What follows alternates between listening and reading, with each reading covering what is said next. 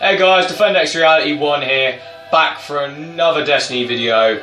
Um, today I just thought, let's take a break and let's do something different. So for today, um, my friends Dragonborn and Rapid Penguin will be joining me for a discussion on the Iron Banner gear. And we're going to decide, is this gear worth having? Now, the, to decide that, we've of course had to get the guns dropped for ourselves and then test them out on a few different drops. So, see how good they are when they drop from Iron Banner, or see how good they are when you buy them from Lord Saladin. Now, I'm sort of both ways at the moment. What about you, James?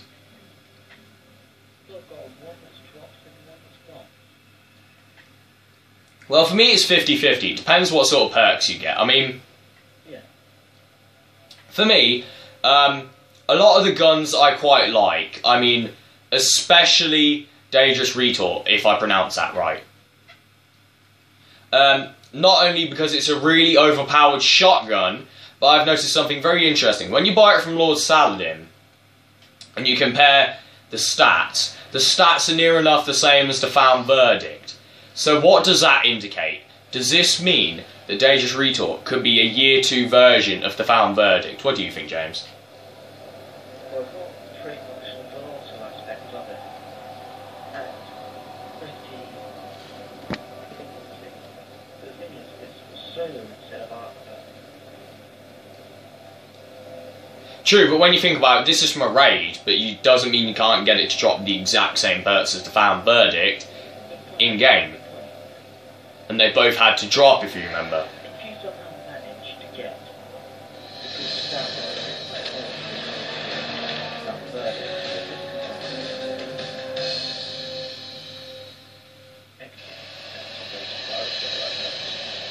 Well, it's it's it's like the Invective. The Invective's like you know it's it's a fluent sort of thing. The shotgun you sort of you know have to pump it.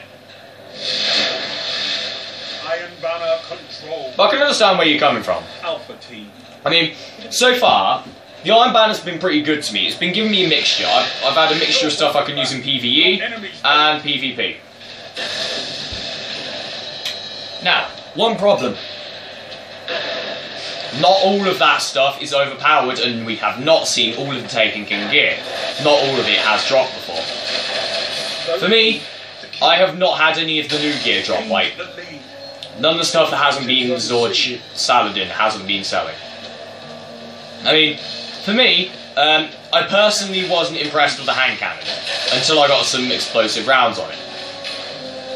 I mean, with explosive rounds, it makes it a free body shot kill, and it also makes it a two headshot kill, and I was particularly impressed with that. Um, yes, it doesn't mean um, does just because I'm sucking the crucible, just like everyone knows, does not mean uh, it's bad. I'm just a bad crucible player. Um, yeah. Um, anyway, so carry on. The gear is still decent. Uh, the Iron Banner, right? Is it worth the grind though? Is it really worth the grind? The guns are they worth the grind for something related to year one? Now that depends on the type of player. Did you really like? If you compare it to sort of guns, and you find out, you know, could I get the gun that I had in year one? And you think, is what's the chances that would happen? Or is Lord Saladin selling it?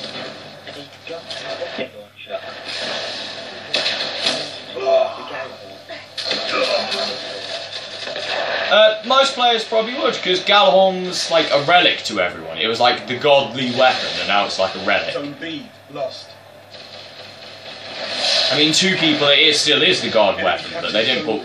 They, they did. They clearly indicated they weren't planning on pulling it through to year two anytime soon.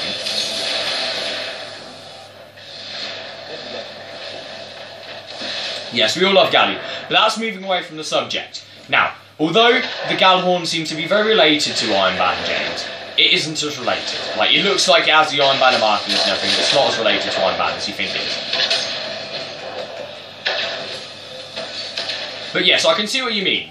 You know, if, if it was someone like say it was someone's old favourite weapon in year one, like say like they even preferred it more than the Gallowon, they would grind for it just in the hope that they might get it. Zone B. Enemy captured Zone. Yeah, I know that. Um, neutralized. Yeah, you, you would grind for it, wouldn't Heavy you? ammo on the way. I, s- I mean, What we would. Anybody you have a chance to Zone C secure. Hey, do you want, do you want a free game? Thinking you would? Heavy ammo available. yeah, like a free game where you can win absolutely everything you play. Here is all the DLCs. That that's like what they're giving you. If it's like if it was like your best gun in year one, you haven't found any in year two. It's actually worth having. It would be worth it. I mean, yeah, that would be so true. I mean, but honestly, the impact um, and the range and the stability on the Iron Banner gear and the fire rate is key for me. I mean, the stability, uh, yeah, that doesn't really matter as much on some of the guns to me, but for most of them, something like Nirwen's Mercy or um, the auto rifle, stability would be key. Because if it has all the fire rate that it apparently has, then you know, of course, you know it's going to be good. The problem is, does it outmatch the Red Spectre, Ash Factory, and Party Crasher? Do they outmatch them? You know, do they outmatch some of the gear you can get in the Crucible? Well, the Iron Banner, does it match out, you know, does it beat the gear you can get in the Crucible, or would you rather grind from the Crucible, get Ash Factory, Party Crasher, or Red Spectre? Now, quite honestly, in my opinion, I would say grind the Iron Banner because the perks on them, you don't know what's going to drop. Um, for the Iron Banner, at least you've got a bit of a higher drop rate. The, the guns can be very, very powerful. And at some stages, um, sometimes it can get very intense, you know. And some of the Iron guns can get you out of them situations. But um,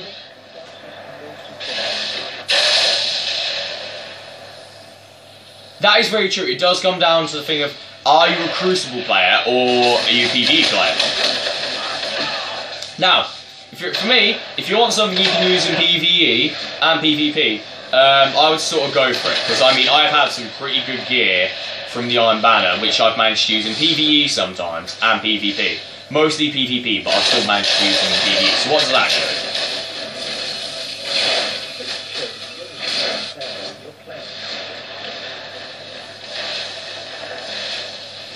Yeah, but we're, we're not here to talk about me, gents. We're here to carry on talking about the guns. So people aren't interested about the guns. Well, they're interested about the guns, but they're not interested about, you know, what type of players we are.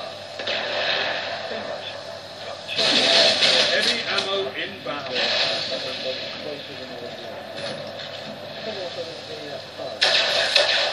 Yeah, Full Auto does sort of give it. It seems like it gives it a small buff to its fire rate. Not like the most epic one. Heavy ammo available.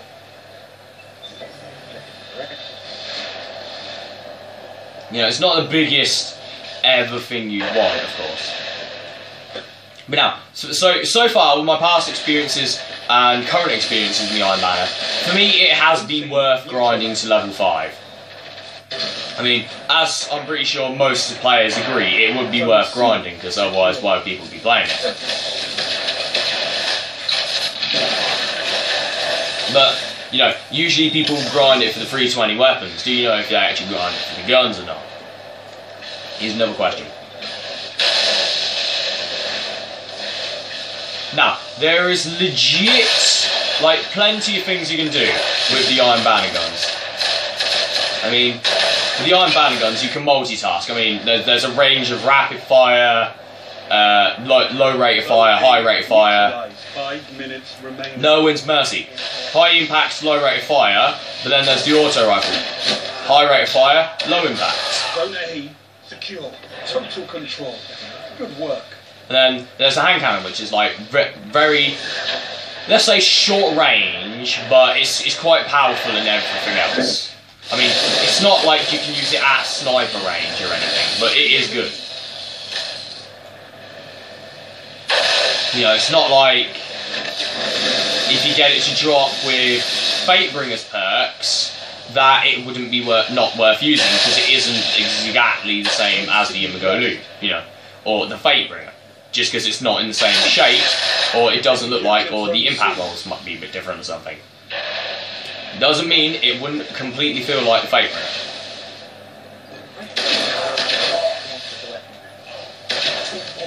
I mean,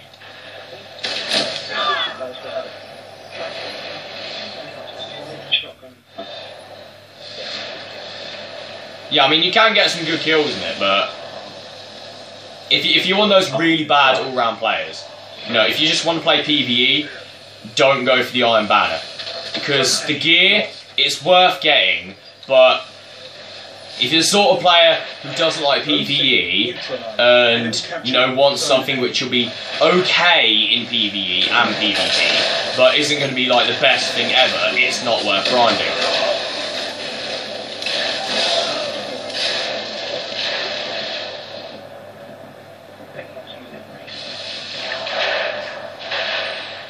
I mean-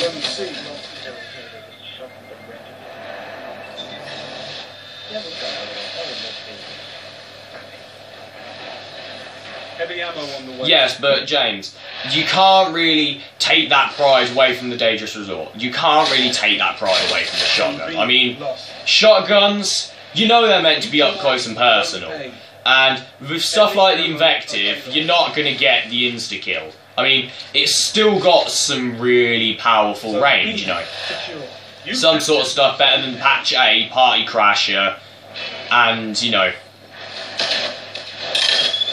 even maybe, I don't know, the invective. You know, maybe it has more effective range because of the impact.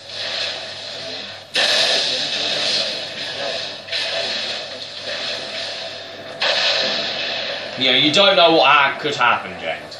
But there is legit. If you, if the chances are right for me so far, the Iron Banner has been all stress, nothing really, really, you know, sort of powerful I could use, like something I could smash around with and destroy everyone with. It's it's been more torture than it's worth for me. Because, yeah, I've had some good rolls on it, but you know, this it's sort of the armor really. I'm I'm more interested in the armor. I mean, the armor looks flipping badass, but can it live up to its look of the badassness? Enemy captured zone A. You know, would it be as badass as it looks? Not really, because you can't really get any special rolls on them. They're just average piece of armor that look different. But guns, they're all different and they're special. But only really good for Crucible. I mean, yeah, as I said before, they're a decent PvP weapon, but they're not the best ever. You're not going to be able to beat whole wars. I mean, if you want something you take with a whole horde, you want something like the multi-tool. But really, it's it's a balance. It's a balance, right? Because they're about the Iron Banner's a, ba- a balance between the two. That's what makes it good. The fact that it is a balance between the two. So it's sort of worth grinding, but it's sort of not.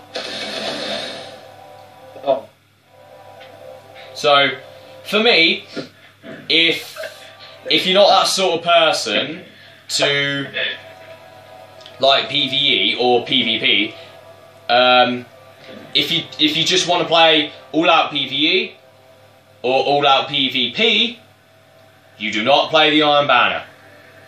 You can play it for the armor, you do, but you don't play it for the guns. I said how Iron Ironic is. That we were just reviewing the Red Shotgun. I've got a second. Uh, we're reviewing, we're sort of reviewing the Iron Banner all round. But yes, the shotgun, to me, leave a comment section below if you view this video and you've enjoyed it.